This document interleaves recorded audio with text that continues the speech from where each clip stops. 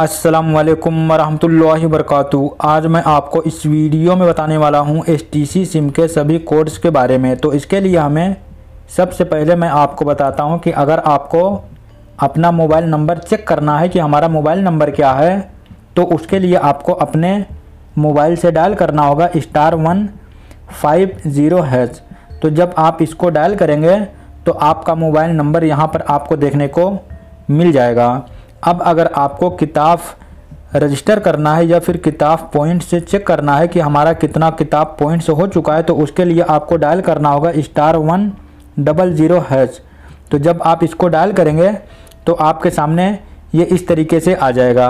अगर आपने अभी तक किताब पॉइंट से रजिस्टर नहीं किया होगा तो यहाँ पर आपको वन डाल करके आप सेंड करना है।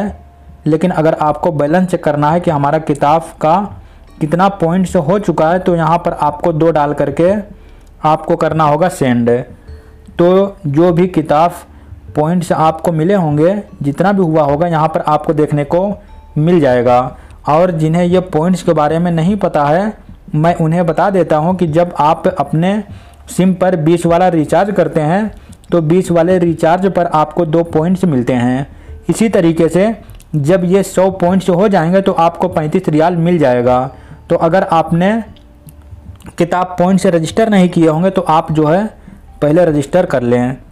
तो देखिए, अगर आपको चेक करना है कि हमारे इस नंबर पर अभी कौन सा ऑफ़र से चल रहा है तो उसके लिए आपको डायल करना होगा, स्टार ट्रिपल एट हैच, फिर आपको डायल कर देना होगा।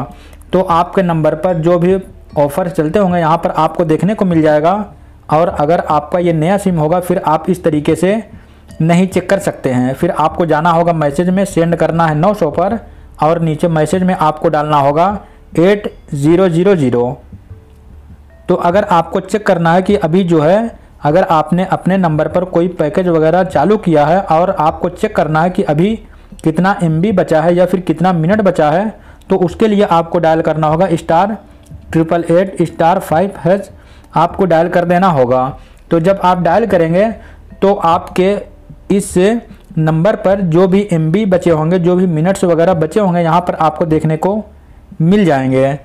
अब देखिए, अगर आपको बैलेंस चेक करना है कि हमारे अभी सिम में कितना बैलेंस है तो उसके लिए आपको डायल करना होगा star one double six hash जब आप इसको डायल करेंगे तो आपके सिम में जो भी बैलेंस होगा, यहाँ पर आपको देखने को मिल जाएगा।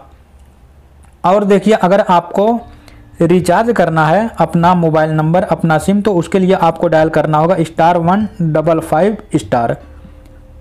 इसको डालने के बाद जो आप बकाले से कूपन वगैरह लेकर के आते हैं, अब इसके बाद वो कूपन नंबर आपको जो भी कूपन नंबर होगा, वही कूपन नंबर डाल करके आप हैच डाल करके जब आप डायल करेंगे तो जितने वाला भी आप कूपन नंबर, कूपन लाए होंगे, वो जो है रिचार्ज आपके नंबर पर हो जाएगा।